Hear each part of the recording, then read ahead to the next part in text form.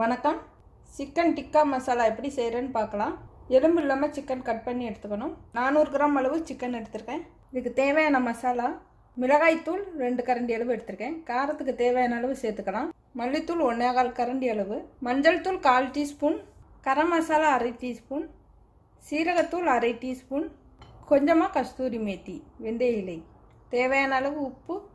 எல்லாத்தையும் இதில் சேர்த்துக்கிறேன். தயிர் மூணு கரண்டி அளவு. கெட்டியாக எடுத்துக்கணும். தண்ணி இருந்தால் வடிச்சிட்டு. எலுமிச்சை சாறு ஒரு டீஸ்பூன். இஞ்சி பூண்டு விழுது. ஒரு கரண்டி அளவு சேர்க்குறேன். நல்லா கலந்து விடணும். குடமிளகாய் வேணாலும் சேர்த்துக்கலாம். நான் இன்றைக்கி வந்து வெறும் சிக்கன் மட்டும் சேர்க்குறேன். இப்போ இதில் சிக்கனை சேர்த்துக்கிறேன்.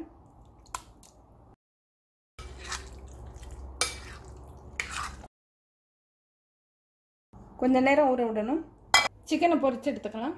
இல்லைன்னா அவனில் வச்சு சுட்டு எடுத்துக்கணும்.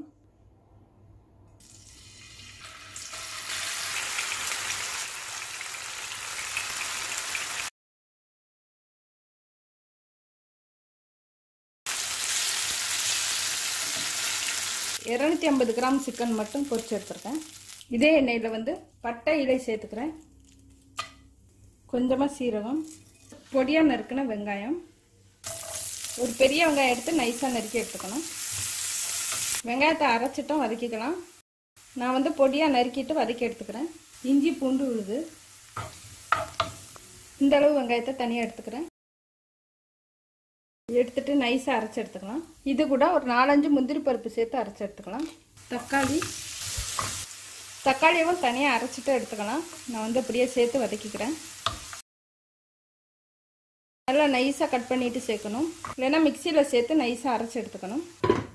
தக்காளி இந்த மாதிரி வதக்கி எடுத்துக்கிறது பிடிக்குங்கிறதுனால வதக்கி எடுத்துக்கிறேன். நீங்கள் தனியாக தக்காளி அரைச்சிட்டு சேர்த்துக்கலாம். அரைச்ச சேர்க்கையில் நம்மளுக்கு அந்த சட்னியோட வாசம் தான் வருது. நம்ம தக்காளி சட்னி சாப்பிட்ற மாதிரி அந்த சுவை தான் வரும். இந்த மாதிரி வதக்கி சேர்க்கையில் சுவை நல்லாயிருக்கும் அதனால தான் வதக்கிட்டு சேர்க்குறேன்.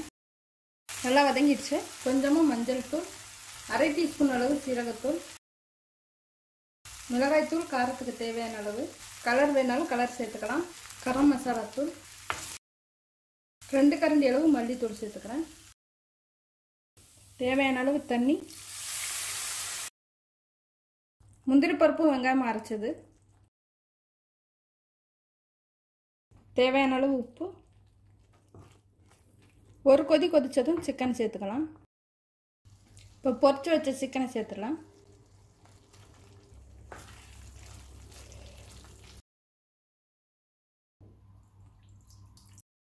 ஒரு ரெண்டு நிமிஷம் நல்லா கொதிக்கட்டும்.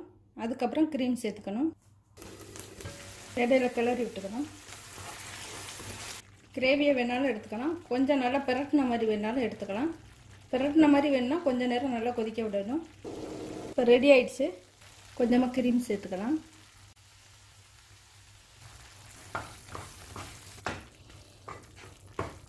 கஸ்தூரி மெத்தி. கலந்து விட்டுட்டு அடுப்பாக பண்ணிடலாம். மல்லித்தலை இப்போ சிக்கன் டிக்கா மசாலா ரெடி ஆயிடுச்சு. நன்றி.